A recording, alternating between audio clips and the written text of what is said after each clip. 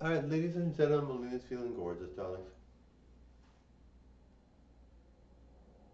Bye, guys.